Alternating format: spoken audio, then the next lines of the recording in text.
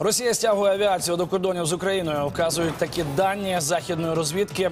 Це свідчить про те, що Москва може використати свої літаки та гелікоптери, щоб підтримати наземний наступ. Про це пише Financial Times із посиланням на джерела.